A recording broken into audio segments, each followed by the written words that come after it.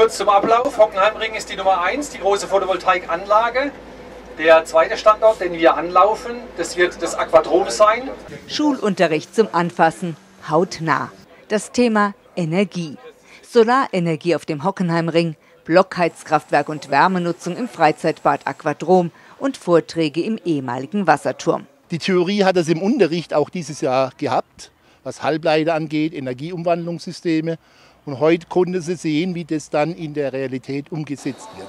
Die Praxis, dabei zu sein, den Krach zu hören, den ein Generator macht oder Motor macht, ganz anders wie im Unterricht. Im Aquadrom wird die Wärme, die wir benötigen, über ein Blockheizkraftwerk erzeugt. In dem Blockheizkraftwerk sind Gasmotoren, die das Gas verbrennen und in Abgang dann diese Abwärme von dem Motor eben über Wärmetauscher zum Heizen im Aquadrom weitergeben und ich habe dann einen Abfall, den ich weiter benutzen kann sozusagen und zwar Strom. Ein Viertel in etwa von unserem äh, Strombedarf tun wir damit erzeugen. Nach der Besichtigung des Blockheizkraftwerks durften die Schüler dann wahrscheinlich zum ersten Mal in ihrem Leben in die Katakomben des Aquadroms hinabsteigen, direkt unter die riesigen Wasserbecken.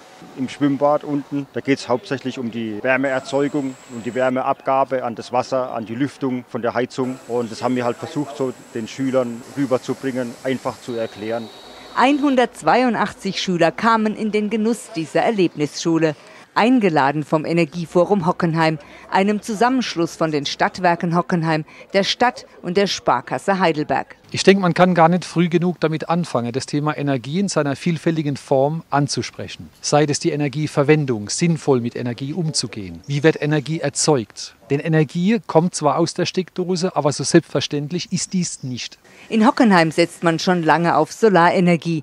2009 wurde auf dem Hockenheimring der Carport samt Photovoltaikanlage errichtet. Die Anlage hat eine Gesamtlänge von 405 Meter bei einer Breite von 16,5 Meter. Die installierte Leistung beträgt ca. 850 Kilowatt Peak, was ungefähr dem Bedarf von 250 Haushalten entspricht. Die Kosten für die Anlage betrugen dreieinhalb Millionen Euro. Bei der Sonneneinstrahlung, die wir im letzten Jahr zu verzeichnen hatten, gehen wir davon aus, dass die Amortisation bereits in weniger als zehn Jahren möglich ist. Eine Investition, die sich lohnt. Für die Umwelt und den Geldbeutel. Das wussten auch schon viele Schüler bei der abschließenden Vortragsrunde im Hockenheimer Wasserturm. Ja, die Schüler lagen teilweise äh, ganz nah dran. Also in der einen Gruppe, da habe ich schon gefragt, ob die meinen Vortrag kannten, weil die lagen bis auf 500 Euro schon dran. Also da merkt man schon, dass ein gewisses Interesse auch da ist.